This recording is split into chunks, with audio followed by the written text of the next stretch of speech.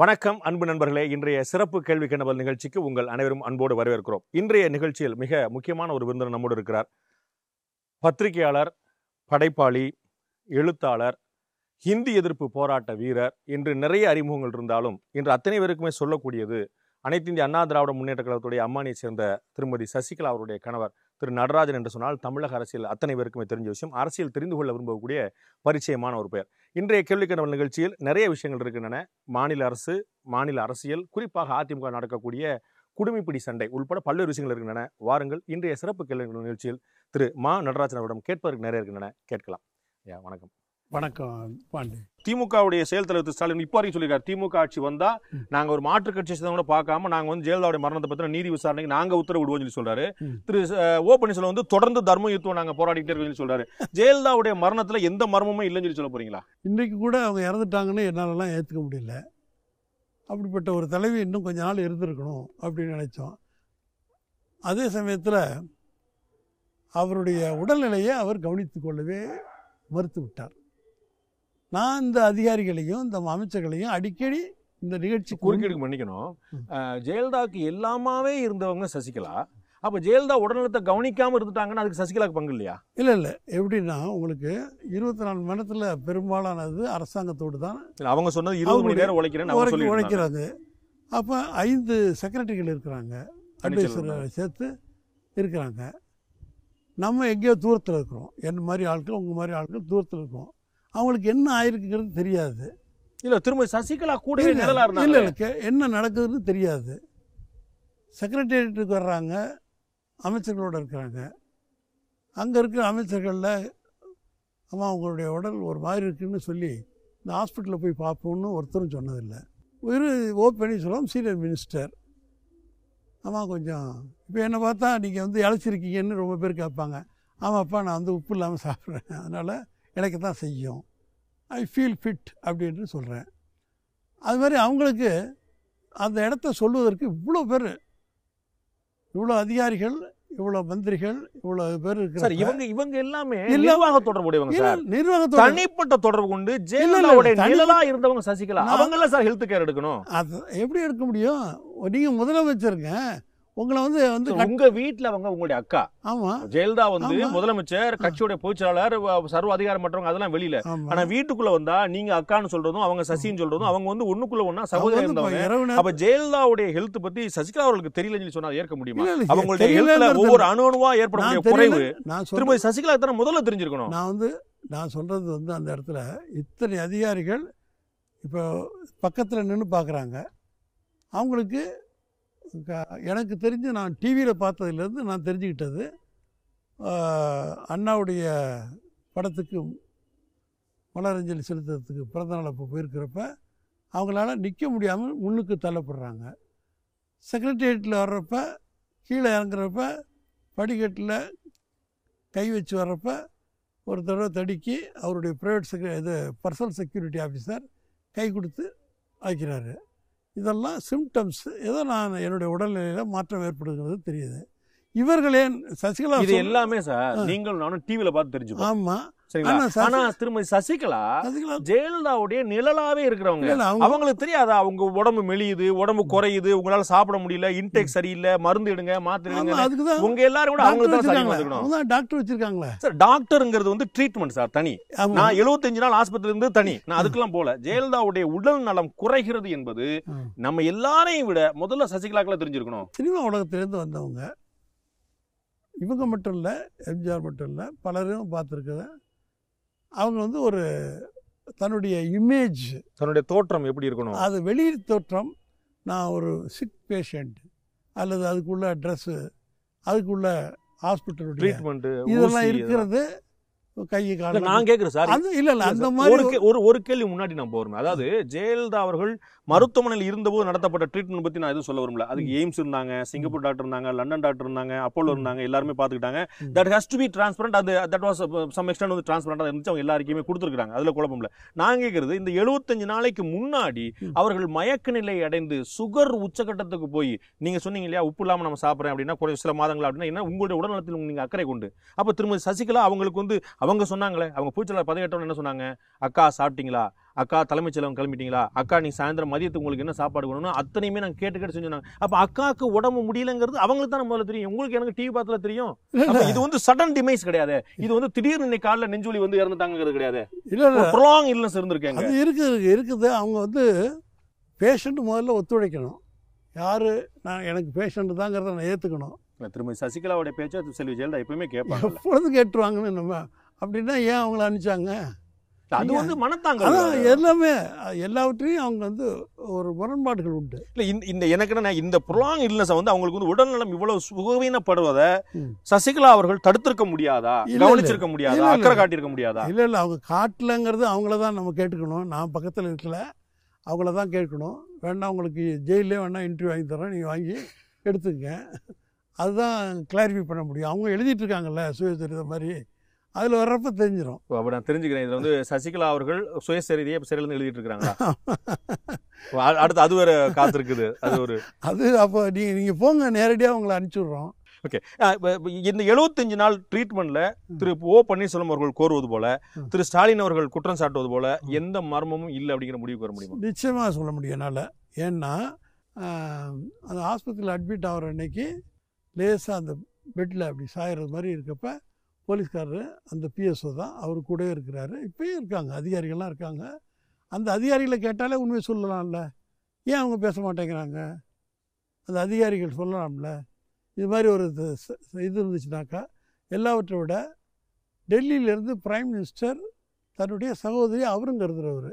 அவர் வந்து கேர் எடுத்து தான் அவருடைய இது அனுப்பிச்சி விட்டு தினசரி அவருக்கு அப்போலோ ரெட்டியிடமிருந்தும் வாங்கி அவரிடத்துலேருந்து ரிப்போர்ட் வாங்கி போயிருக்கு. நேரடியாக எய்ம்ஸ் யாரையும் நம்பாமல் இங்கேருந்து நேரடியாக எய்ம்ஸ்லேருந்து வந்த அதிகாரியும் டைரெக்டாக ரிப்போர்ட் பண்ணியிருக்காங்க. அவர்கள் தான் டெல்லியில் வச்சு ரிப்போர்ட் கிடைச்சா கொடுப்பாங்க. இதில் வந்து ஒன்றும் மர்மம் இல்லை. ஏன்னா இன்டர்நேஷ்னலாக இன்டர்நேஷ்னலாக இருக்கிற வந்து டாக்டர் வந்து இருந்தவர் அவன் யாருக்கும் உனக்குங்களுக்கு எனக்கும் பயப்பட பயப்பட மாட்டான். அவன் அங்கே நான் போனப்போ Jayalalithaa not well she was not given proper treatment சொல்லவே இல்லையே. இல்ல அவர் வந்து இன்டர்நேஷனல் ஸ்டாண்டர்ட்ல ட்ரீட்மெண்ட் இருந்துச்சுன்னு அவர். என்டாஸ் பண்ணாரு. அவங்க உயிரோடு இருக்கும்போதே சொன்னாரு. கொடுத்த வரைக்கும் நல்ல treatment course of action everything நான் இருந்தா என்ன பண்ணிருப்பேனோ அதான் நான் பண்ணிருப்பேங்கிறத அவர் சொன்னாரு. அதான் ஓகே நான் இப்ப திரு ஓ பன்னீர்செல்வம் வந்து அவர் முதலமைச்சரா இருக்கு பதவி ஏற்க சொல்லி சொன்னதே திருமதி சசிகலா தான். அவங்க பதவி ஏத்துக்கிட்டாங்க. அவர் மேல நம்பகத்தன்மை இன்மை நம்பிக்கையின்மை? எப்ப ஏற்பட்டது திருமதி? சசிகலாக்கு அவர் வந்து நீங்க இல்லங்க நீங்க ராஜினாமா பண்ணிருங்க. இது சரி வராது. அப்படிங்கிற முடிவுக்கு அவங்க எப்படி வர்றாங்க? அப்படி இல்லை. எம்எல்ஏக்கள் அமைச்சர்கள் எல்லாரும் போய் வற்புறுத்தி நீங்கள் பொறுப்பேற்றுங்க இவர் வந்து எங்களுக்கெல்லாம் செய்யலை. அப்போ ஒரு கான்ட்ராக்டு ஒரு ரெக்கமெண்டேஷன்ஸ் அப்போ மந்திரியெல்லாம் சேர்ந்து நீங்கள் தாமான்னு முதல்ல மதுசூதன் தானே ப்ரொப்போஸ் பண்ணுறாரு அது திரு தம்பிதுரை சொல்றாரு? எல்லாருமே சொல்றாங்க. கோர்ட்லேயே கொடுத்துருக்காரு அஃபிடேவிட்டு ஆமா. அந்த கோர்ட் அதுதான் இப்போ. எலெக்ஷன் கமிஷன் யூஸ் பண்ணுறான் சசிகலா புஷ்பா அவர்கள் தொடர்ந்த வழக்குல வந்து இவங்க மீது எங்களுக்கு பரிபூர்ண நம்பிக்கை இருக்கு. கொடுத்திருக்காரு. நாங்க தான் செஞ்சோம் அப்படின்னு சொல்லி அப்படின்னு அது வந்து பொதுச்செயலாளர் பதவிக்கு. ஆமாம் அது பொதுச்செயலாளர் பதவிக்கு. இல்லை இல்லை முதலமைச்சராக மதுசூதனன் கொடுத்திருக்கக்கூடிய அதுக்கு பிறகு அதுக்கு பிறகு முதலமைச்சர் பதவியை இவர் ஒன்றும் சரியா இல்லை.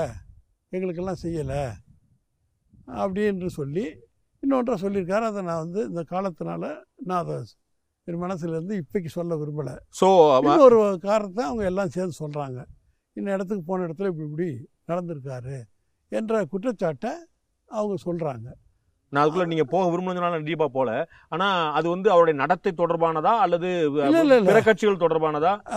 அதான் அது இல்ல அரசியல் ரீதியானதா அரசியல் ரீதியான சில நெருக்கடி நெருக்கடிகளுக்கு நிர்பந்தங்களுக்கு ஆளாயிருக்கிறாருங்கிறத அவங்க ஆதாரபூர்வமாக சிலவற்றை சொல்கிறாங்க ஓகே. அந்த அதுக்கு பிறகு வந்து கட்சியுடைய சட்டமன்ற குழு தலைவரா திருமதி சசிகலா தேர்ந்தெடுக்கப்படுறாங்க. அதுல கிட்டத்தட்ட அவங்க பதவியேற்க இந்த பரிந்துரை கடிதம் கொடுக்கறதுக்கும் பதவியேற்க இடையில கிட்டத்தட்ட ஒரு பத்து பதினொரு நாள் இடைவெளி ஆயிருது. அது ஆளுநர் வந்து வேம்பு வீம்புக்குனே வேண்டுமென்றே தாமதப்படுத்தினா நினைக்கிறீங்களா? இல்லாட்டி ஒரு இயல்பான தாமதம் தான் அவங்க ஒரு இந்த மாதிரி கிர- பிரச்சனை எல்லாம் இருக்கும்போது ஒரு டைம் எடுத்துக்கிறது சரிதான் நினைக்கிறீங்க? இல்லை இல்லை. அது அவருக்கு ஒரு ப்ரிராகேட்டிவ் அவருக்கு இப்போ கவர்னருக்கு ஒன்று இருக்குது. இருந்தாலும் காலதாமதப்படுத்தப்பட்டது. உள்நோக்கத்தோடு. ஒரு சிலருக்கு உதவி செய்ய வேண்டும் என்கிற நோக்கத்தோடு காலதாமதப்படுத்தினார். திரு பன்னீர்செல்வத்துக்கு உதவுவதற்காக. உத- யாருக்கோ ஆனால் பொறுப்பெடுத்தினார் இன்னைக்கு நீங்க பின்னாடி இருந்து பார்க்கும்போது. திரு எடப்பாடி பழனிசாமி அவருடைய தேர்வு. ஒரு தவறான முடிவு. திருமதி சசிகலா எடுத்த ஒரு தவறான முடிவு நினைக்கிறீங்களா? இன்னைக்கு நடக்கக்கூடிய விஷயங்கள்லாம் பார்க்கும்போது. எனக்கு அப்படி தெரியல. அதாவது பையன் லார்ஜ் என்ன சொல்கிறாங்க அவர் நம்பிக்கைக்குரியவராக இருக்கிறதாக அவர் இன்றைக்கும் சசிகலா நம்புகிறார். தனக்கு தான் விசுவாசமா இருக்கிறார் எடப்பாடி பழனிசாமி அவர்கள்னு திருமதி சசிகலா நம்புறாங்க. நம்புகிறாங்க அது அவர் இப்படி இப்பொழுது தேர்ந்தெடுக்கப்பட்ட அந்த இது கூட தகவல் தெரிவிக்கிறதுக்கு கூட தம்பிதுரை போன்றவர்களே பாராளுமன்ற துணை சபாநாயகர் அந்த குழுவுடைய தலைவராக இருக்கிறதுனால சட்ட பாராளுமன்ற உறுப்பினர்களுடைய தலைவராக இருக்கிறதுனால அவரே அனுப்பிச்சு அவர் போய் நேரடியாக பேசி அந்த கருத்துக்கள் தெரிந்ததன் பேரில் அறிவித்ததாக வெளியில் எனக்கும் தகவல் கிடச்சிச்சு. இதுல ஒரு வியப்பு பாருங்களேன். திரு தம்பித்துரை அவர்கள் வெங்கைய நாயுடுவை போய் சந்திக்கிறார். அதற்கு மறுநாள் திருமதி சசிகலா சந்திக்கிறார். அதற்கு மறுநாள் வந்து திரு எடப்பாடி பழனிசாமி சேர்ந்து அறிவிக்கிறாங்க. அறிவிக்கும் போது அவரும் கூட பக்கத்துல உட்கார்ந்துருக்கிறார். எல்லாம் கரெக்டாக தான் போகுது. ரொம்ப அருமையா போகுது. இயல்புல பாருங்க இடையில ஒரு துணை பொதுச்செயலாளர்னு ஒருத்தர் இருக்கிறார். இது வந்து அதிமுக அரசோட அறிவிப்பு கிடையாது. அதிமுகங்கிற கட்சியோட அறிவிப்பு. அப்ப பொதுச்செயலாளரால செயல்பட முடியல. அவங்களால அறிக்கை கொடுத்துருக்கலாம் ஒன்றும் பிரச்சனை இல்லை. அவங்களால அறிக்கை கொடுக்க முடியலன்னு துணை பேச்சாளர் கொடுத்துருக்கலாமே. அவர் ஓரமாக வந்து பெசனர்ல அவர் வீட்டில் உட்காந்துருக்கிறார் இந்த பக்கம் வந்து முதலமைச்சர் எல்லாரும் அறிவிக்கிறாங்கன்னு. யார் இங்கே ஓரம் கட்டப்படுறாங்கிற கேள்வி வருதுல்ல இல்லை? இல்லை அது வந்து அவர் வந்து டெல்லியில் கைதானதுக்கு பிறகு அதுவும் ரெட்டைலைக்காக கைதாகப்படுகிறார் கைதாக்கி வந்ததும் அதனால வந்து நம்மெல்லாம் மாட்டிக்கிட்டோமோ மாட்டிக்குவோமோ என்ற அச்சம் இவர்களுக்கெல்லாம் ஏற்பட்டு போயிடுச்சு அந்த சமயத்தில். ஸோ அது அச்சப்பட்டிருக்க வேண்டிய அவசியம் இல்லை என்பது என்னுடைய கருத்து. திருமதி சசிகலா அவர்கள். திரு எடப்பாடி பழனிசாமி திரு தம்புதுரையும் திரு பண்டுட்டி ராம ராமச்சந்திரன் உட்பட எல்லாருமே சேர்ந்து கட்சியில போய் அறிவிங்க அப்படிங்கிறதுக்கு ஒப்புதல் கொடுத்துட்டாங்க. ஆமாம் திரு டிடிவி தினகரன் அறிக்கைக்கு ஒப்புதல் கொடுத்துருக்கலாமே. மறுநாள் வந்து அவர் அறிக்கை விடுறாரு.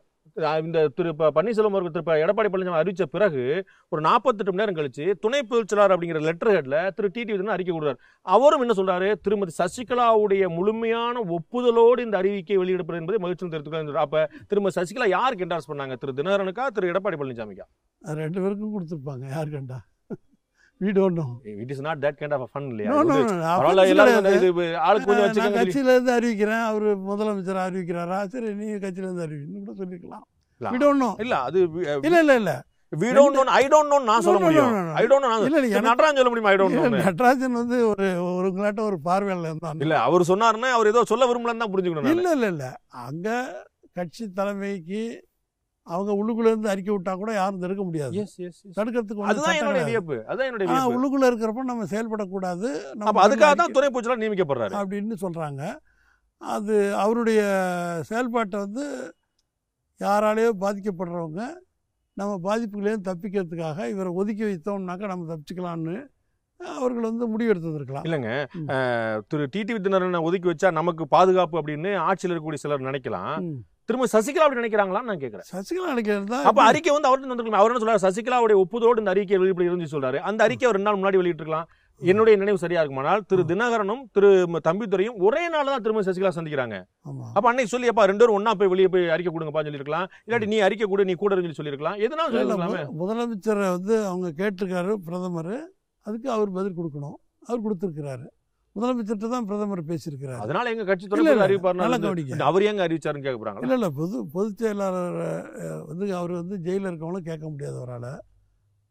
அது அவருடைய ஸ்டேட்டஸ்ஸு பிரைம் மினிஸ்டர் ஸ்டேட்டஸ் அப்போ முத முதலமைச்சரை கேட்குறாரு. அந்த முதலமைச்சர் வந்து அவர் உடனே அவர் அன்னைக்கு பதில் சொல்லணும் அப்படின்னு தம்பிதுரை அனுப்பிச்சு கேட்டு அதை திரு அதுக்கு பிறகு இவரை கட்சியினுடைய அடிப்படையில் இவர் கொடுத்துருக்கிறதுக்கு வாய்ப்பு இருக்குது நான் புரிஞ்சுக்கிறதுக்காக கேட்கிறேன். இப்ப திரு டிடிவி தினகரன் அவர்களை அடுத்த இரண்டு மாதங்களுக்கு அமைதியாக வேடிக்கை பார்ப்போம் அப்படின்னு சொல்லியிருக்காங்களா. ரெண்டு மாதம் வாய் திறக்காத அமைதியா இரு அப்படின்னு உத்தரவு போட்டிருக்காங்களா? இல்ல வந்து கட்சியில இருந்து இல்லை அது அவர் ஆக்டிவா இருக்கக்கூடிய திரு தினகரனை ஒதுக்கி வைக்கிறதுக்கு சசிகலா அவர்களே விரும்புறாங்களா? ஒதுக்கி வைக்கிறதுங்கிறது அமைதியாருன்றதுனால நான் இப்போ அமைதியாக இருக்கிறேன். இப்போ நீங்கள் ஒதுக்கிட்டீங்களா என்ன? நீங்க உள்ளே இல்ல உங்களை யார் ஒதுக்க முடியும்? அப்புறம் அது மாதிரி தான் ஆனா அவர் துணை பூச்சலா இருக்கிறாருல? இல்லை இல்லை அவர் அவர் செயல்பட்டுக்கிட்டு தான் இருக்கிறாரு. செயல்பட்டு. அவர் ஒதுங்கி இருக்கிறாரா எம்எல்ஏக்கள் இருக்கிறாரா அவருக்கு வர்றவங்களெல்லாம் பார்க்கறதுங்களும் பார்த்துட்டு முப்பத்தி நாலு இருக்காரு எம்எல்ஏக்கள் மேல அவங்க ஆதரவு வச்சிருக்காங்க சில எம்பிகள் தெரிவிச்சிருக்காங்க. நூற்றி இருபத்தி மூணுமே அவரு தான் திரு தங்க தமிழ்ச்செல்வனோ திரு வெற்றிவேலோ ம- மற்றவர்களோ வந்து வெளியே வந்தோடனே திரு டிடி விதனன் தான் பூச்சலார் அவர் சொல்லபடி தான் கேட்கணும். அவரை மீறி யாருமே செயல்பட முடியாது. நாங்க விட மாட்டோம் அப்படின்னு அவ்வளவு பகிரங்கமா அமைச்சர் பெருமக்கள் மீதே கூட இவங்க கட்சியை விட்டு ஒதுக்குறதுக்கு இவங்க யாருங்க அப்படின்னு கேட்கறது அதிமுக. அப்ப இயல்பா என்ன பாக்குறாங்க? ஓஹோ திரு ஓபிஎஸ் தலைமையில ஒரு அணி திரு எடப்பாடி பழனிசாமி தலைமையில அணி திரு டிடி தலைமையில ஒருத்தர் பார்த்துட்டு வந்து ஒருத்தர் தன்னுடைய ஆதங்கத்தையோ அவருக்கு ஆதரவு தெரிவிக்கிறதுனாலயே ஒரு அணி ஆயிடுச்சுன்னு சொல்கிறது எல்லாருக்கும் ஒரே அணி தான். என்னை பொறுத்தவரையிலையும் நான் முடிவாக சொல்கிறேன் இது ஒரே அணி தான். அப்படிதான் எல்லாருமே சொல்றாங்க. இல்லை இல்லை. ஆனா மூணு முகாம்கள் இருக்கு தெரியல ஒரு. ஆயுத எழுத்து மாதிரி தனியா வந்து பார்க்க போகிறவங்கள வந்து ஒரு அணியாக்குறீங்க. அப்போ என்ன கூட தான் ஒரு பத்து பேர் வந்து பார்த்தாங்க. என்னுடைய கேள்வி திரு எடப்பாடி பழனிசாமி ஒதுக்கி வைக்கணும்னு சொல்லி சொல்றீங்களா? திரு டிடி விதிரனை ஒதுக்கி சொல்றீங்களா? யார் இங்க ஒதுக்கி வச்சிருக்கீங்க? இல்லை அது அது பொதுச் செயலாளருக்கு உள்ள சிக்கலே அதுதான். அவர் ஜெயிலில் இருக்கிறதுனால அவர் வந்து எல்லாரும் ஒத்து போகணும். எடப்பாடியும் சரி தினகரனும் சரி எல்லாம் ஒன்றுபட்டு செயல்படணும் அப்படின்னு விரும்புகிறாங்க சோ இன்னைக்கு வந்து திரு எடப்பாடி பழனிசாமிக்கு திருமதி சசிகலாவுடைய ஆதரவு இருக்கு.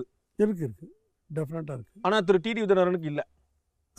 அது ஒருத்தருக்கு இருக்குங்கிறதுனால அடுத்தவங்களுக்கு இல்லைங்கிறது எந்த சட்டத்திலையும் இல்லை. பவர் இருக்குது அவங்க காட்டுறது தெரியாது பெருசாக தெரியுது. சார் ஒரு அமைச்சர் சார். ஒரு அமைச்சர் சார். பின்னாடி இருபத்தஞ்சு அமைச்சரோட சேர்ந்து. நாங்கள் திரு டிடிவி தினரன் குடும்பத்தை ஒட்டுமொத்தமாக விலக்கி வைக்கிறோம். அவர்களோடு இனிமே யாருக்கு எங்களுக்கு புழக்கம் கிடையாது பழக்கம் கிடையாது நாங்க சேர மாட்டோம்னு சொல்லி அறிவிக்கிறார் சார்.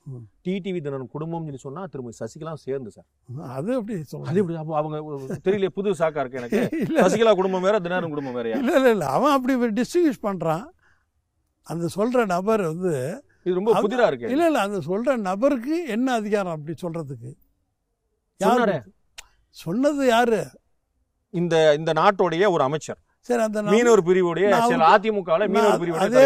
அதே அமைச்சருக்கு பக்கத்தில் என்ன கூப்பிட்டு என்னதான் நடந்துச்சு என்று நான் விசாரித்தேன்.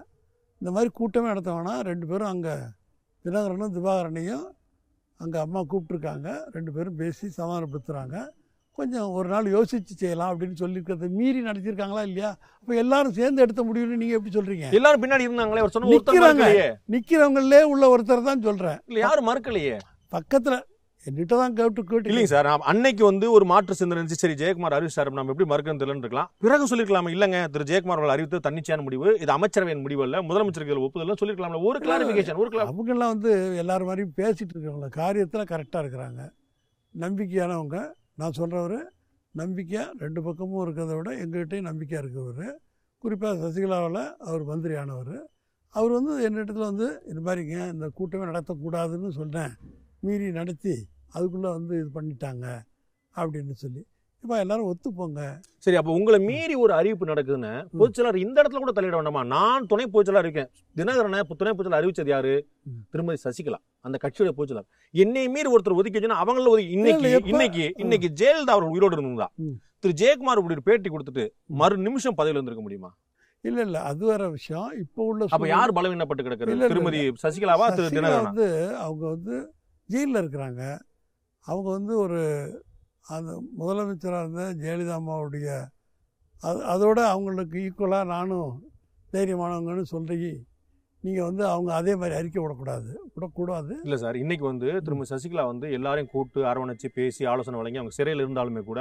திவாகரனையோ தினகரனையோ தம்பித்துறையோ எல்லாருமே சந்திச்சு பேசி அவங்களுக்கு உரிய அறிவுரைகள் வழங்கிட்டு இருக்காங்க அத மாதிரி திரு. ஜெயக்குமார் வந்து இப்படி ஒரு விஷயம் சொல்லும்போது. நீ எப்படி நான் நியமிச்ச ஒரு துணை என்னுடைய உறவினருங்கிறது விடுங்க. திரு. தினகரனுக்கு திருமதி சசிகலா வந்து சொந்த சித்தி அவங்க சின்னம்மா அவங்க அந்த அந்த உறவை விடுங்க. நான் நியமித்த துணை பொதுச்செயலாளர் என்னுடைய துணை பொதுச்செயலாளர் நீ ஒதுக்கி வைக்கிற நீ எப்படி சொல்ல முடியுங்கிற கேள்வி வருது இல்ல? இந்த கேள்வியை நீங்கள் அங்கே அங்கே அனுப்பிச்சி வைக்கிறேன் நீங்களே கேட்டிருக்க நேரடியாக சோ அடுத்த நாலு ஆண்டுகளுக்கு திரு எடப்பாடி பழனிசாமியே முதலமைச்சராக தொடரட்டும் அப்படின்னு திருமதி சசிகலா விரும்புறாங்க. விரும்புகிறாங்க திரு டிடிவி தினகரன். அடுத்த உத்தரவு வரும் வரை துணை பொதுச்செயலாளரை தொடரணும் அப்படிங்கிற சசிகலா விரும்புறாங்களா? அது வந்து இப்போ அவங்க கொஞ்ச நாள் அமைதியாருன்னு சொல்லியிருக்காங்கல்ல. அந்த டைம் எதுங்கிறத நாம் தெரிஞ்சுக்கிட்டு தான் அதுக்கு பிறகு அவர் செயல்படுவார். இந்த இடத்துல ஒரு சின்ன கிளாரிபிகேஷன் இப்ப அவர் வெளியே சமயம் ஒரு சமயம் அவங்களுடைய இது இப்போ பிரசிடென்ட் எலெக்ஷன் முடிக்கட்டும்னு வெயிட் பண்ணலாம். பிரசிடென்ட் எலெக்ஷனுக்கு பிறகு ரெவி பெட்டிஷன் வர்றதுக்கு அது என்ன வருதுன்னு பார்த்துக்கிட்டு அதுக்கு பிறகு நீ அப்படின்னு ஏதோ ஒரு மனசுக்குள்ள அவங்களுக்கு ஒரு திட்டம் இருக்குது. திரு டிடி விஜயநாதன் வெளியே வந்து சொன்னது.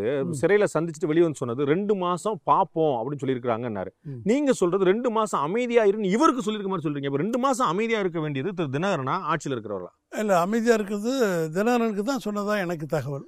இதற்கான காரணமும் நீங்க வந்து இடையில பேசும்போது சொல்ல ஒரு விஷயமும். திரு திவாகரன் அவர்களுக்கும் திரு தினகரன் அவர்களுக்கும் சண்டை. மோதல் விரிசல். இதை சமாதானப்படுத்த முடியாம திருமதி சசிகலா கஷ்டப்படுறாங்க. இல்லை இல்லை இல்லை. அது தப்பு. ரெண்டு பேரையும் நான் தான் முதல்ல எங்களுடைய வீட்டில் தான் முதல்ல பத்திரிகைகள்லாம் வந்து அவங்க பேசுனாங்க கூப்பிட்டு வச்சு பேசுகிறாங்கிறது எழுதுறாங்க. அதுக்கு முன்னாடி முதல் இதுவே எங்கள் வீட்டில் தான் எல்லாரையும் குடும்பத்தையும் கூட்டியிருந்தோம். அவன் தினகரன் வந்து அப்போ திகார் இதில் இருந்தது. அவன் ஜெயிலில் இருக்கான். நீங்கள் எல்லாம் எல்லாம் வேடிக்கை பார்த்துட்டு இருக்கீங்க. அவனை அவங்க ஒதுக்கினாலும் நம்ம வந்து எப்படி ஒதுக்க முடியும்?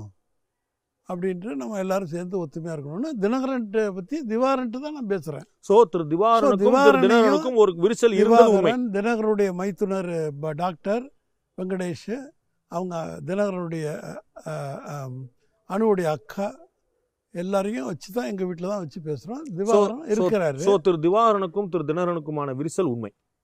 விரிசல் இல்லை. கருத்து வேறுபாடு வேற விரிசல் வேற. கருத்து வேறுபாடு இருக்கும். ஏன்னா அது உங்களால தான். அந்த கருத்து வேறுபாடுக்கு காரணம் உங்களால தான். அது என்- வரைக்கும் கருத்து என் வேறுபாடு குடும்பத்துல இனிமே என்னை தவிர வேற யாரும் வரமாட்டாங்க அப்படின்னு நம்முடைய நீங்கள் சொன்னதை வச்சுக்கிட்டு அவங்கெல்லாம் கொஞ்சம் வருத்தப்பட்டாங்க. அப்புறம் நான் வந்து அவர்களை ச சமாதானப்படுத்தி அவர்கிட்ட ஒப்படைச்சிட்டு போயிருக்காங்க. நீங்கள் பேசாமல் இருங்கன்னு அவங்கெல்லாம் அமைதியாக பிறகு போய் உங்கள் அக்காட்டே போய் பேசுங்கன்னு சொல்லி அவங்க தான் போய் நேரடியாக பேசுனாங்க. ரெண்டு பேரையும் கூப்பிட்டு வச்சு பேச வச்சாங்க. பிறகு தினகரனையும் திவாகரன் வீட்டுக்கே போய் பேசி ஒருத்தர் ஒருத்தருக்கு பேசி முடிச்சுக்கிட்டாங்க. அதுக்கு முன்னாடி பேப்பர்கள் திருமதி சசிகலாக்கு எவ்வளவு சங்கடம் பாருங்க. அவங்க வந்து கட்சி ஆட்சி டெல்லி. அப்படின்னு பாப்பாங்களா ஆமாம் திவாரனா தினகரனான்னு பாப்பாங்களா அதுதான் சொல்கிறேன் என் குடும்பத்தில் இருக்கவங்க ஒத்துமையாக இருக்குங்க அப்படிங்கிறத நானும் ஒருப்படுத்துகிறேன் அவங்க இப்போ வந்து கொஞ்சம் கோவம் ஸ்டெப் எடுத்து நேருக்கு நேராக அழைச்சி ரெண்டு பேரையும் உட்கார வச்சு பேசி ஒழுங்குபடுத்தியிருக்காங்க. இப்போ நேற்று So, முந்தா எல்லாரும் சேர்ந்து திரு தினகரனை அடக்கி வைக்கிறதுக்கான முயற்சி ஈடுபட்டு இருக்கீங்க அடக்கி வைக்கிறது. ஏங்க ஒரு சூழ்நிலைகள் எப்படி உருவாகுது? அரசியல் சூழ்நிலைகள் எப்படி வருது? அந்த உருவாகிறது என்னை ஒதுக்குறேன்னு ஒருத்தவங்க சொல்கிறாங்கன்னா அவங்களுக்கு என்ன சிக்கலில் இருக்கிறாங்க சொல்கிறவங்க அவங்க எந்த விதமான நிர்பந்தத்தில் இருக்கிறாங்க அது கட்சிக்கு எப்படி பிரச்சனையா வராம அது. வந்து அது ஆட்சியை வந்து பாதிச்சிடக்கூடாது. அதனால் நம்ம விட்டு கொடுத்து போவோம். கொஞ்சம் அமைதி இருக்குங்கிறது சொல்கிறது ஒரு அட்வைஸ் தானே. டெல்லிக்கும் அதிமுகவுக்குமான மோதலா இருந்தா அப்படி புரிஞ்சுக்கலாம். திரு திவாரனுக்கும் திரு தினகரனுக்குமான மோதல வந்து முதல்ல இல்லை. நான் அப்படி நான் சொன்ன உடனே என்னை வந்து டாக்டர் வெங்கடேஷன் வந்து பார்த்து முத நாள் இப்படி கூட்டம் மன்னார்குடியில் நிறுத்தப்பட்டதுன்னு சொன்னார். இப்போ மன்னார்குடி தஞ்சாவூர் அதெல்லாம் அந்த பகுதியெல்லாம் நம்ம சொந்தக்காரங்க உறவுக்காரங்க தான் இருக்கிறாங்க. அங்கே வந்து இப்போ கட்சி பிரச்சனை இல்லை. கட்சி உள்ள எங்கே நீங்கள் வந்து வேறு இடங்கள்லேருந்து நீங்கள் ஆரம்பிங்க. அட்வைஸாக நான் சொல்லி அனுப்பிச்சிட்டு இல்ல தமிழ்நாட்டுல பல. பகுதியில் அவரால் கூட்டம் போட முடிஞ்சது. மன்னார்ல போட கூட்டத்தை பிரிச்சுட்டாங்களே. இல்லை இல்லை இல்லை. அன்னைக்கு தான் அது நாங்கள் சொல்கிற அட்வைஸை நான் தான் சொல்கிறேன் நான் தான் சொல்கிறேன் அந்த மாதிரி அந்த நீ வேறு இடத்துல இந்த கூட்டத்தை ஆரம்பிங்க. அங்கேருந்து ஆரம்பிக்கிறப்ப வீக்காக இருக்கிறதா அல்லது உனக்கு எங்கே செல்வாக்கு இருக்குங்கிறத அங்கே நம்ம நம்ம ஊரில் வந்து நான் மச்சான் நமக்குள்ளே யார் செல்வாக்குன்னு நம்ம காட்டிக்க வேண்டிய அவசியமே இல்லை. ஏன்னா மொத்த ஒருத்த கட்சி சோ திரு திவாகரன் வருத்தப்படக்கூடாது அப்படிங்கறதுக்காக மன்னார்குடியில திரு தினகரனுக்கு ஆதரவான. நடத்தப்படல. கட்சி வந்து பிரச்சனை இல்லாமல் இருக்குது அங்கே திரு திவாகரன் கட்டுப்பாடுல. யாரோ ஒருத்தரோட கட்டுப்பாட்டில் இருக்குல்ல நம்ம வீட்டில்? அப்ப அந்த இடத்துல அப்ப அந்த இடத்துல திரு தினகரனுடைய ஆதரவு கூட்டம் நடக்கக்கூடாது. வர ஆதரவு கூட்டம்னு இல்லையே. அது வந்து அந்த இடத்துக்கு தேவையில்லையா அன்னைக்கு? திரு கருணாநிதியோட குடும்பத்துல மதுரையில அழகிரி இருக்கிறாரு. சென்னையில ஸ்டாலின் இருக்காரு. அவங்களுக்குள்ள பிரச்சனை அப்படின்னு அவங்கள நீங்க விமர்சனம் பண்ணிட்டே இருந்தீங்க. குடும்ப ஆட்சி குடும்ப கட்சி இன்னைக்கு சொல்லிட்டு இருக்க விஷயம். அதே மாதிரி மதுரையில எப்படி வந்து மற்றவங்களுக்கு இடம் இல்லைங்கிற மாதிரி நிலைமை வந்துச்சோ. அதே மாதிரி மன்னார்குடியில வந்து திரு அப்படி- திவானந்தர மற்றவங்க இடம் இல்லைங்கிற மாதிரி வருதா? இல்லை இல்லை கிட்டத்தட்ட அப்படித்தானே இது? இல்லை இல்லை. பிரச்சனை இல்லாத ஒரு இடத்துல நம்ம ஏன் ஒரு பிரச்சனை உண்டாக்கணும்னு? நீ போய் நேராக போய் பேசுன உடனே போய் பார்த்து பேசிட்டாரு. நான் சொன்ன உடனேயே அவர் வந்து போய் நேரடியாக போய் திவாரன் வீட்டில் போய் சந்தித்து பேசி ஒரு சுமூக சூழ்நிலை உருவாகி அடுத்த கட்டமாக சசிகலாவை அழைச்சி பேசி அங்கேயும் அவங்க பேசி முடிச்சு கை குலுக்கிட்டு வந்திருக்கிறாங்க. இப்போ அடுத்த கட்டம் ஆட்சியை வந்து சசிகலாவை பொறுத்தவரையிலையும் பொதுச்செயலாளர் முறையில் இந்த கட்சியை ஆட்சியையும் நம்ம கட்டுக்கோப்பாக கொண்டு போகணும். அதுக்கு நீங்கள் எல்லாம் கொஞ்சம் ஒத்துழைச்சி நீங்கள் என்னுடைய புரிதல் சரியாக இருந்தால் ஆ. அதிமுகல அடுத்து தியாகம் செய்ய வேண்டியவர் திரு டிடிவி தினகரன். தியாகம் இல்லையே. தற்காலிகமாக கொஞ்சம் அமைதி காக்குங்கிறதுனால நாளைக்கே நம்ம எடப்பாடிக்கிட்டே கூட நான் மாதிரி இப்போ திவாரம் மாதிரி உட்காந்து பேசணுன்னா டேக் ஹிம் தியூ அப்படின்னு சொல்லி சசிகலா சொல்லிட்டாங்க. என்ன சொல்கிறீங்கன்னு கேட்டால் முடிஞ்சு போயிடுது. திரு நாங்கள் அது கூட நாங்கள் போகாமல் அவங்களுக்கு சிர நம்மளால் சிரமம் கொடுக்கக்கூடாது அவங்க நிர்வாகத்தில் அவருக்கு ஏதோ ஒரு சிக்கல். யாரோ ஒருத்தரால் ஒரு அழுத்தம் கொடுக்கப்படுகிறது. அவராக அவர் செய்யக்கூடியவர் அல்ல. சோ இந்த இடத்துல வந்து திரு அவர் இது வரைக்கும் நான் சொல்லி நான் அப்படிதான் நான் நெருக்கடி கொடுப்பேன்னு எங்கேயாவது சொல்லியிருக்காரா? எடப்பாடி. அவர் அவர் நேரடியா சொன்னதுல ஆமா சொல்லல. அவர் சொல்லட்டும் அப்ப நாங்க பார்த்தோம் திரு ஓ பன்னீர்செல்வம் அவர்கள் தொடர்ந்து சொல்லிட்டு வரக்கூடிய குற்றச்சாட்டு திரு திருமதி சசிகலாவும் திரு எடப்பாடி பழனிசாமியும் ஒற்றுமையா ஒண்ணுக்குள்ள ஒண்ணா இருக்கிறாங்க. அவர்களுக்குள்ள பிரிவோ விரிசலோ கிடையாது. சசிகலா அவர்கள் சொல்லதான் திரு எடப்பாடி பழனிசாமி செய்யறாருன்னு திரு ஓ பன்னீர்செல்வம் குற்றச்சாட்டை சொல்லிட்டு இருக்காரு நீங்க சொல்றது அதை ஒப்புக்கிற மாதிரி இல்லையா? இல்ல இல்ல. சசிகலா வந்து ஒற்றுமையா போங்கங்கிறது வேற. அவங்க சொல்றதை தான் அவர் செய்யறாருங்கிறதுக்கு எங்க ஒரு ஒரு சின்ன ஆதாரம் ஒரு கான்ட்ராக்ட் இன்னார் கொடுங்க. ஒரு அப்படிதான் பண்ணணுங்கிற அவசியம் இல்ல. இந்த ஒரு அதிகாரி அப்படி போடுங்க. இப்ப கூட இல்ல அது அதெல்லாம் தலையீடா பார்க்கப்படும். அவங்க சிறையில் இருக்கிறாங்க ஒதுங்கி இருக்கிறாங்க அது தனிக்கதை நான் கேக்குறது வந்து திருமதி சசிகலா அவர்கள் அவருடைய குடும்பத்தினர் வந்து ஒதுக்கி வைக்கப்பட்டதா சொல்லப்படுது. திருமதி சசிகலா குடும்பத்தினர் வந்து அதிமுக இருந்து ஒதுக்கி வைக்கப்பட்டதா ஒரு பேச்சு ஓடிட்டு இருந்துச்சு. அதுதான் அந்த அமைச்சர் பெருமக்கள் மத்தவங்க சொன்னது கூட. இப்ப நடக்கக்கூடிய விஷயங்களும் நீங்க சொல்லக்கூடிய விஷயம் பார்த்தா திருமதி சசிகலா அவருடைய ஒப்புதலோடு தான் திரு எடப்பாடி பழனிசாமி அமைச்சரவை செயல்படுகிறது அரசு செயல்படுகிறது. அவங்க சொல்லி தான் ஒதுக்கி வச்சிருக்காங்களோ? சொல்லி கொடுத்துருப்பாங்க ஓ பன்னீர்செல்வம் சொல்லக்கூடிய குற்றச்சாட்டு உண்மையாகாதான் அவரு அவருடைய குற்றச்சாட்டை யார் தமிழ்நாட்டில் நீங்கள் உங்கள் மீடியாக்கள் ஹைப் தண்டதால சாதாரண மக்களிடத்தில் என்னோட வாங்க. நான் அதே தேனி மாவட்டத்தில் நான் வர்றேன். உங்கள் டிவி கேமரா எல்லாரோடையும் வாங்க. நான் கேட்குறேன். நீங்கள் என்னென்ன கேள்வி கேட்குறீங்களோ அதை அப்படியும் கேட்குறேன். அவர் மேலே எவ்வளோ நம்பிக்கை அந்த மக்கள் வச்சுருக்காங்கிறத நீங்கள் புரிஞ்சுக்கிட்டு அப்புறம் கேளுங்க. சொந்த மாவட்டத்துல அவருக்கு நம்பிக்கை இல்லை நாலு அந்த இருக்கிற மா மற்ற எம்எல்ஏக்கெல்லாம் யாரோட இருக்கா? அவர் கூட இல்லை. சரி ரெட்டையிலேயே கிடைச்சா கூட நாளைக்கு அவர் போட்டியில் ஜெயிக்க முடியுமா? முடியும்னு சொல்ல சொல்லுங்கள் நான் அவரை தோக்கடிச்சு காட்டுறேன். சிபிஐ என்கொயரின்னு சொல்கிறாரு சொந்த தாயை வந்து செத்து போனால் குடும்பத்துக்குள்ளே ஏதோ ஒரு இதில் குடும்ப சண்டைகளில் கூட சில பேர் ஷாக் ஆகி இறந்துருப்பாங்க. அதனால் செத்து விட்டாங்க இதுதான் கொண்டுட்டான் என்று சொல்லி வாக்கி வார்த்தை சில பேர் பேசுவாங்க. உணர்ச்சி மேலிட்டு. உணர்ச்சி மேலிட்டு. அது உண்மை இல்லை அதை போல தான் இது ஒரு அரசியல் இந்த- குற்றச்சாட்டு முதலமைச்சராக செயல்பட்ட பொழுது கையெழுத்து போட்டிருக்க வேண்டியதானே we are ready for CBI பூர்வாங்க பணியில நான் ஆரம்பிச்சேன். அப்பதான் இந்த கையெழுத்து வாங்கிட்டாங்கன்னு இப்போ எங்களுக்கு ஒன்றும் பிரச்சனை இல்லை. யாரும் நாங்கள் சிபிஐ வந்து என்கொயரி பண்ணுறதை பற்றி யாரும் கவலைப்பட மாட்டாங்க. திரு ஓ பன்னீர்செல்வம் அவர்கள் வந்து தொடர்ந்து இது போல குற்றச்சாட்டை வைப்பாரானால் அவரை அவருடைய தொகுதியிலே. சின்னத்திலே இருந்தா கூட. அவர் சொல்லட்டும். தொடர்ந்து சொல்லட்டும். அதிமுகவுக்கு எதிர்ப்பாக அவர் செயல்படட்டும். அவர் அதிமுகவுக்குடைய அடிப்படை உறுப்பினர்களுடைய சாதாரண தொண்டர்களுடைய மனதில் வந்து வெறுப்பை சம்பாதித்து கொண்டிருக்கிறார். அவர் சொல்கிற போல் பெரிய என்ன நீதி கேட்குறாரு? அவர் எதனால் போய் அங்கே போய் சரண்டர் ஆனார்? நாட்டுக்கு சொல்லுவாரா? ஏன் ஐந்து நாள் அவர் வந்து க முதலமைச்சர் ஜெயலலிதா அவர்கள் முதலமைச்சராக இருக்கும்போது தேர்தலுக்கு முன்பாக ஐந்து நாள் ஏதோ ஒரு கஸ்டடியில் இருந்தார். ஹோம் அரெஸ்ட் என்றெல்லாம் இருந்தார்னு சொல்கிறாங்களே அது எதனால் இருந்தார்? அதெல்லாம் சொல்லுவாங்களா? உங்க குடும்பத்தினர் தான் அப்படி செஞ்சாங்கன்னு அவர் சொல்றாரு. போலீஸ் தாங்க பண்ணது. அவர் அவர் சொல்லக்கூடியது வந்து என்னை வந்து பொருளாளர் இருந்து கடைசி வரைக்கும் நீக்கல. எனக்கு. அது பின்னாடி நம்முடைய பேட்டியில அவர் சொன்னது நீங்க என்னன்னா, பின்கால பிற்காலத்தில் ரெண்டாயிரத்தி பதினாறு முதலமைச்சராக நான் சொல்றது முதலமைச்சராக ஜெயலலிதா அம்மா இருக்கிறப்ப என் மனைவி நிர்வாக பகுதிகளுக்கு போனது இல்லை. அவர் திரும்ப வீட்டுக்கு அழைத்த பொழுது யாரும் பார்க்கறது. அவர் தனியாக அவருடைய நிர்வாகத்துக்கு உட்பட்ட சின்ன வளையத்துக்குள்ள வழக்கு அதை மட்டும் தான் பார்த்துக்கிட்டாங்க அந்த டிஸ்டிங்ஷனை பண்ணி பார்க்காம நீங்க பேசுறீங்க. இல்ல நான் கேக்குறது திரு பன்னீர்செல்வம் அவர்கள் வந்து போலீஸ் கஸ்டடியில் இருந்தாலும் சொல்லி சொல்றீங்களே ரெண்டாயிரத்தி பதினாறு தேர்தல் போலீஸ் கஸ்டடி இல்லை அந்த அம்மாவுடைய நேரடி நடவடிக்கைக்கு ஆளானாரா இல்லையா? அவரும் நத்த விஸ்வநாதன் அப்படித்தான் பேச்சு எழுந்தது. நான் அவர்கிட்ட நேர்காணலே கேட்கிறேன் அவர் சொன்னது இதுவும் திரு நடராஜன் குடும்பத்தினருடைய குற்றச்சாட்டு தவிர உண்மை இல்ல. எனக்கு சீட்டு கொடுக்கூடான்னு தடுத்து பார்த்தாங்க எனக்கு சீட்டு கிடைச்சது. என்னை பொருளாளர் பதவியில இருந்து நீக்கணும் பார்த்தாங்க எனக்கு நீக்கல. எனக்கு அமைச்சர் பதவி கொடுக்கூடாதுன்னு பார்த்தாங்க அமைச்சர் கொடுத்தாங்க. அதாவது என்னென்னலாம் இருந்ததோ அதை அத்தனையுமே நான் தக்க வைத்தேன். அது வந்து முழுக்க முழுக்க அந்த அம்மா என் மேல தனிப்பட்ட வச்சிருந்த அன்பு. இவர்களுடைய சதி எடுபடாமல் போனதுன்னு அவர் இல்ல சொல்றாரு. நம்முடைய பேட்டியில. இல்ல இல்ல அது போய் சொல்றாரு. ஐந்து நாள் இங்க இருக்கிற எல்லாருக்கும் தெரிந்த விஷயம். ஐந்து நாள் அவருடைய நிர்வாகத்துல ஐந்து நாள் எங்க போனார். ஜெயலலிதா அவர்கள் முதலமைச்சரா இருக்கும் போதே நடந்தது. திரு ஓ பன்னீர்செல்வம் என்ன நடந்ததுங்கிறத நான் உரிய அதிகாரிகள் இருக்கிறாங்க. அதை வந்து கண்காணித்து செய்தவர்கள் இருக்கிறாங்க. அவர்களை வைத்து நாங்கள் வருங்காலத்தில் சொல்ல வைக்கணும் அல்லது அவங்கள கேட்கணும். ரெட்டலை சின்னம் அப்படிங்கிறது. ஏற்கனவே ஒரு ஃப்ரீஸ் ஆகி வரலாற்றிலே முதல் முறையா திரும்ப அதே சின்னம் கிடைச்சது இதுக்கு முன்னாடி எங்க வந்து ஒரு சின்னம் ஃப்ரீஸ் ஆச்சுன்னா. அது வந்து திரும்ப கிடைச்சதா வரலாறு இல்லை எனக்கு தெரிஞ்ச அதிமுக ரெட்டலை சின்னம் திரும்ப அது மாதிரி கிடைச்சது. இப்போ இரண்டாவது முறையாக அதிமுக அது எம்ஜிஆரோட நூற்றாண்டு விழா தருணத்துல இந்த மாதிரி நடந்திருக்குது.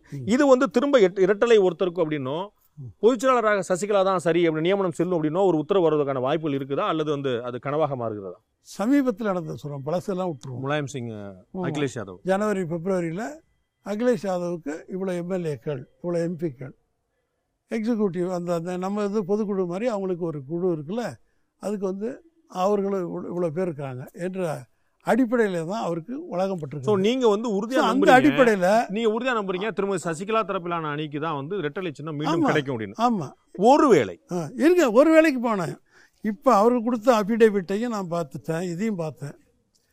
அவர்கள் வந்து இன்னார் ஒரு பக்கம்? மாவட்ட ஆமாம் இன்னார் வந்து இன்ன சட்டமன்ற. இதில் அல்லது பகுதி செயலாளர் நகர செயலாளர் உள்ளாட்சி தகுதி செயலாளர் என்ற அறிவிப்பை கொடுத்து முதலமைச்சராக கட்சி தலைமையில் இருந்த ஜெயலலிதா அவர்கள் கொடுத்த ஆர்டரோடு அஃபிடேவிட் அங்கே நீங்க வந்து அஞ்சு. பக்கம் நீங்க அஞ்சு பக்கத்துக்கு அறிக்கை தாக்கல் பண்ணிருக்கீங்க. ஒவ்வொருத்தரும் தனித்தனியா பிரமாண பத்திரம் தாக்கல் பண்ணிருக்கீங்க. அவங்க ஒரு பக்கத்து தான் தாக்கல் பண்ணிருக்காங்க. நீங்க வந்து அவங்களுடைய அடையாள அட்டையில இருந்து அவங்களுடைய நியமன அறிவிப்புல இருந்து இப்ப இருக்கிற பொசிஷன் ஆ, ஐடி கார்டுல இருந்து. எல்லாமே ஓகே. ஓகே இது இந்த அஞ்சு பக்கம் இது ஒரு பக்கம். இது ஓகே நீங்க வந்து கூடுதலான எண்ணிக்கையிலும் தாக்கல் பண்ணிருக்கீங்க. அது. எல்லாமே ஓகே. நான் கேட்பது அந்த அடிப்படையில நீங்க வந்து அவங்களுக்கு தான் திரும்பவும் இரட்டை. கிடைச்சிரும். ஆமா. பொதுச் செயலரா இவங்க நியமிக்கப்பட்டதும் செல்லும் அப்படின்னு நீங்க உத்தரவு உங்களுக்கு வந்துடும் நீங்க நினைக்கிறீங்க. பொதுச் செயலாளர் பற்றி ஒன்று சொல்கிறேன் ரொம்ப பேர் பேசுகிறாங்க பொதுச் செயலாளர் ஒரு கட்சி எப்படி செலக்ட் பண்ணுறாங்கங்கிறத கேட்குறது எலெக்ஷன் கமிட்டிய வேலையே இல்லை. ஆனா நம்ம டிஸ்பியூட் பண்ணி போயிட்டோமே. இல்லை இல்லை இல்லை. நம்ம புகார் அங்க போயிருக்கோமே. அங்கே போகக்கூடாது அவங்க. கேளுங்க. எலெக்ஷன் கமிஷன் சட்டத்திட்டங்கள் கட்சியில் வளர்க்கும்போது அந்த கட்சி திட்டங்களில் இதை எதிர்த்து கொஸ்டின் பண்ணி கோர்ட்டுக்கு போகக்கூடாதுங்கிறதையும் எம்ஜிஆர் வந்து சட்டத்திட்டங்கள் சேர்த்துருக்காரு. ஸோ அடிப்படையே அவங்க தப்பாக போயிடுறாங்க. அப்படி ஒரு பைலா இருக்க முடியாது. எகெயின்ஸ்ட் அதுக்கு அது கான்ஸ்டியூஷனுடைய பேசிக் ரைட்டுக்கு எதிரானது அப்படி ஒரு பைலா இருக்க முடியாது. லாக்கு எதிராக ஒரு பைலா இருக்க முடியாது. எலெக்ஷன் கமிஷனே அது வந்து ஒரு கட்சியில் உங்களை தேர்ந்தெடுக்கலாம் பொதுச் செயலாளர் இவரை தலைவராக எடுக்கலாம். அதெல்லாம் அவங்களுடைய புறகட்டி இ- ஒரு கட்சியுடைய உள்கட்சி விவகாரம். அவங்களுக்கு யார் யார் தேர்ந்தெடுக்கப்பட்டிருக்கு என்னென்னது பொறுப்புகள் ஆண்டுதோறும் நடக்கிற தகவல் மட்டும் பரிமாறிட்டே இருக்கணும். அவ்வளவுதான் விஷயம். இல்ல நாம அந்த இதுக்கு விரோதமா. போயிருக்க நாம தானே? இவங்க அதுக்கு விரோதமாக தான் இவங்க ஃபைல் இல்ல பண்ணி அத விசாரணை எல்லாம் பண்ணி இடைக்காலமா முடக்கி வைக்கிறங்கிற உத்தரவு எல்லாம் கொடுத்துருக்குல்ல? அதுதான் தப்புங்கிறேன் அந்த இடைக்காலமே அதை எதிர்த்து அவங்க சுப்ரீம் கோர்ட்டு போயிருக்கணும் இவங்க. சோ இது வந்து உண்மையிலேயே அவங்க நியமனத்தை எதிர்த்துனா அது வந்து நீதிமன்றத்தில் நடக்க வேண்டிய விஷயமே தவிர அது வந்து தேர்தல். நடக்கிற விஷயம் நினைக்கிறேன் ஏன்னா உங்களுக்கு உதாரணத்துக்கு சொல்கிறேன் ஜெயலலிதா அம்மாவை பொதுச் செயலாளரை நாங்கள் தேர்ந்தெடுத்த பொழுது நாங்கன்னா அந்த நான் சொன்ன அந்த பத்தொன்பது மாவட்ட செயலாளர்களும் நியமிச்ச போது கூட சொல்லலாம். நியமிச்ச போது கூட சொல்லலாம். நியமித்தது. அப்போ அது வேக்கண்ட் அதை. போட்டாங்க. அதை எதிர்த்து வந்து இதே பிஹெச் பாண்டியனும் பொன்னையனும் தான் ஜேபிஆர் பேரில் இன்ஜெக்ஷன் போய் கோர்ட்டில் வந்து வாங்குறாங்க. கோர்ட்டுக்கு போய் கேட்குறாங்க கோர்ட் ரிஜெக்ட் பண்ணிட்டாங்க. இன்ஜெக்ஷன் ஆர்டர் கேட்டாங்க. Restrain her from acting as general secretary but court refused அப்போ கோர்ட்டுக்கு தானே போனீங்க அன்னைக்கு? சோ அதே போல இந்த முறை வந்து சசிகலா ஒரு கோர்ட்டுக்கு போகாமல் அங்கே போனீங்க? அதே பிஹெச் பாண்டியன் அதே பொன்னையன். அதே ஆள் தான் அதே வரலாறு மீண்டும் முறை ஓகே அதே ஆட்கள் தான் ஓகே இப்போ இப்போ வந்து திரு திருமதி சசிகலாக்கு ஆதரவாக தீர்ப்பு வரும் தேர்தல் ஆணையத்துல. இரட்டை சின்னம் இங்க கிடைக்கும் நீங்க நம்புறீங்க. நிச்சயமா. ஒருவேளை பொதுச் செயலராக நியமிச்சது செல்லாது அப்படின்னோ. இரட்டை சின்னம் திருமதி சசிகலா அவர்களுக்கு கிடையாது அப்படின்னோ முடிவானால். அதிமுகவுடைய எதிர்காலம் என்ன? இல்லை இல்லை அப்படி அப்படிப்பட்ட ஒரு நிலைமை வராது. ஒருவேளை ஒரு வேலைன்னு சொல்கிறீங்க அப்படிப்பட்ட நிலைமை வராது. வந்தால் மீண்டும் போட்டியிடுவார் அவர். அஃபிஷியலாக போட்டிட்டு எடுக்கணுன்னாக்கா அவங்களே போட்டியிடுவாங்க. சசிகலா பொதுச் செயலாளருக்கு போட்டியிடுவேன்னு அஹ், போட்டியிடுவாங்க. ரெட்டலை சின்னத்தோட இம்பார்ட்டன்ஸ் அதிமுகல எவ்வளவு? அதாவது ஜெயலலிதாவுக்கு ஒரு கரிஷ்மா எம்ஜிஆருக்கு ஒரு ஓட்டு அது மாதிரி இன்னும் இருக்கு. நாளைக்கு வரக்கூடியவங்க அந்த தொகுதியில் இருக்கக்கூடிய வேட்பாளர்லாம் இந்த ரெட்டலை சின்னங்கிறது அதிமுகவுக்கு எவ்வளவு அவசியமானது? ரெட்டையிலங்கிறது ஒரு- சிக்னிஃபிகன்ஸ் இருக்குது. அது எம்ஜிஆர் புரட்சித் தலைவர் எம்ஜிஆர் கொண்டு வந்தது. அல்லது அதை வந்து ஜெயலலிதா அம்மா வந்து அதை நிலைநாட்டி அரசியல் நடத்துனது. திமுகவை தோற்கடிக்கிறதுக்கு இது ஒரு Tool. ஆமாம் டூலு அப்படிங்கிறது இப்பயும் இங்கே இருக்கிறது யாரும் பார்த்திங்களா அங்கே போகல ஒரு எம்எல்ஏ எம்பி யாரும் போகல பத்து நாளுக்கு காலம் பதினோரு நாளில் நான் அடுத்த மாதம் நான் ஆட்சி பிடிப்பேன். எவ்வளோ சொல்லி பார்த்துட்டாங்க. இப்போ சட்டசபையில் எல்லாம் ரெண்டு பேரும் ஒன்றா இருக்கீங்களேன்னு கூட சண்டை போட்டு பார்க்குறாங்க அதெல்லாம் நடக்கும். ஆனால் அந்த கட்சி வந்து அந்த சின்னம் வந்து அவ்வளவு ஆமாம் அந்த எதிர்ப்பிலே வளர்ந்தது. திமுகங்கிற எதிர்ப்பிலே வளர்ந்தது. உதயசூரனா ரெட்டலையா அப்படிங்கிறது தான் மனசு நிற்கக்கூடியது எம்ஜிஆர் கருணாநிதி மாதிரி எம்ஜிஆர் வந்து ஒரு பெரிய ரோல் இருக்கு. ஒரு மூணு மூன்றரை வருஷம் திரும்ப சசிகலா வந்து சிறையில் இருக்க வேண்டியிருக்கும் அதிகபட்சமாக. அதுக்கு இடையில ரிவ்யூ படிச்சு என்னதுங்கிறது அப்புறம். அது இடையில வந்து அதிகபட்சம் நீடிக்கிறதா? அதற்கு பிறகு அவருடைய ஆக்டிவ் பாலிடிக்ஸ் தொடருமா? அதிமுகவுல கட்சியில ஆட்சியில சசிகலாவுடைய செகண்ட் இன்னிங்ஸ் ஆக்டிவா இருக்குமா? ஆஃப்டர் திஸ் திஸ் ஒன் அதாவது இப்பொழுதே வந்து அந்த அம்மாவுடைய மறைவிலே அந்த அம்மாவுடைய இடத்த நிரப்பக்கூடியவங்க இவங்க தான். அல்லது எல்லாரையும் ஒன்றுபடுத்தக்கூடிய ஒரு ஃபோர்ஸாக இன்றைக்கும் நாட்டு மக்கள் மட்டுமல்ல மத்திய அரசு கூட கருதுகிற காரணத்தினால தான் எல்லாரையும் இணைத்து இந்த ஓட்டு பெறுவதற்கு அவர் முயன்றிருக்கிறாரு. அந்த விதத்தில் பார்க்கப்போ இது யூனிஃபைங் ஃபோர்ஸாக சசிகலா இருக்கிறாங்க. அது எல்லாரும் மத்தியிலையும் பேசப்படுது. முதல்ல பொதுமக்கள் மத்தியில வந்து சசிகலா குடும்பத்தினருக்கு வந்து ஒரு வெறுப்பு இருக்கு அப்படிங்கிறது வந்து மாய தோற்றமா? அது வந்து ஆரம்பத்தில் வந்து மீடியாக்கள் ஒரு என்ன கூடவே இருந்த முப்பது வருஷம் இருந்தவங்க வந்து ஒருத்தர் கொலை பண்ணாங்கன்னு சொல்கிறத யாரும் முதல்ல உடனே ஒரு கீழே இருக்கவங்க விவரம் தெரியாதவங்க பேசிகிட்டு இருந்தாங்க. இப்போ இந்த அம்மா ஜெயிலுக்கு அந்த அம்மாவுடைய இறந்துட்ட நிலையிலையும் அந்த தண்டனை இவங்களும் அனுபவிக்கிறாங்களே அப்படிங்கிற ஒரு அவங்க சிம்பத்தி தான் ஏற்பட்டிருக்க ஒழிய வெறுப்பு வந்து மறைந்திருக்கிறத நான் பார்க்க முடியுது. அதனால வந்து அதிமுகவுடைய ஒருங்கிணைப்பு சக்தியா ஒருங்கிணைப்பு சக்தியாக இவங்க இருக்கிறத எல்லாரும் உணர்றாங்க. கட்சிக்குள்ளேயும் இவங்க இணைச்சாதான். ஆனால் அவர்களுக்கு முன்னாடி கொடுத்த ஓபிஎஸ் போன்றவர்களுக்கு யாரோ கொடுத்த அந்த அவர் முதல்ல ஒழுங்காக சொல்லிட்டு போவார். நான் அந்த கண்டிஷன் எதுவும் சொல்லாமல் ஏற்று அவங்க வந்து சேரத்துக்கு ஒத்துக்குவார். கண்டிஷனே இல்லாமையா என்று சொல்லி அவருக்கு அந்த கண்டிஷன்ஸ்கள் பிறரால் பின்னால் வற்புறுத்தி ஏற்றப்படுகிறது. அந்த ஆள் யார்? அதான் அவர் நாட்டுக்கு விளக்க வேணும். நான் ஓப்பனாக பேசுகிறேன் என்னட்டா அவர் ஓப்பனாக பேசிட்டோம். இல்லை call for an interview before one to one இன்னொரு persons I am ready for argument Thiru O பன்னீர்செல்வத்தோ Thiru O பன்னீர்செல்வத்தோடு நேருக்கு நேர் நேருக்கு நேர் விவாதத்துக்கு திரு. நடராஜன் தயார். உங்கள் இதில் டிவிலே அவர் அழைக்கலாம். ஆமாம் ஏன்னா அவருக்கு என்ன நெருக்கடி? இப்போ எனக்கு ஒன்றும் நெருக்கடி இல்லை. என்னை யாரும் நெருக்கடி கொடுக்க முடியாது. மனசில் பட்ட சொல்லிவிடுவேன். அவருக்கு பாஜகவோட நெருக்கடி இருக்குன்னு இப்போ நான் வந்து பன்னீர்செல்வத்துக்கு பாஜக சொல்லலை. பாஜகன்னு நீங்கள் சொல்கிறீங்க அரசியலில் வந்து லோக்கலில் எல்லா கட்சியும் அவரை பிடிச்சி வாசன் கூட தான் அவருக்கு ஆதரவு கொடுக்குறாரு. ஏன் நீங்கள் அவரை மட்டும் சொல்கிறீங்க சொல்றீங்க. வாசன் ஆதரவு கொடுக்கக்கூடிய நிலைமையில இருக்காரு தவிர அழுத்தம் கொடுக்கக்கூடிய நிலைமையில இல்லையே? இல்லை இல்லை. அவரும் ஒரு பெரிய ஃபோர்ஸ் தானே? அவருக்கு அவரோட பெரிய ஃபோர்ஸ் தானே? இல்ல அதுல அதுல ஒண்ணும் நான் சந்தேகப்படல. என்னுடைய கேள்வி அவர் அழுத்தம் கொடுக்கக்கூடிய இடத்துல வந்து மத்திய அரசு இருக்க முடியும் இல்லாட்டி வந்து சசிகலா அவர்கள் இருக்க முடியும். அந்த மாதிரி ஒரு ஒரு ஒரு ஃபோர்ஸ் வந்து யார்கிட்ட இருந்து ஆட்சி தான் இருக்கணும்னு அவசியம் இல்லை.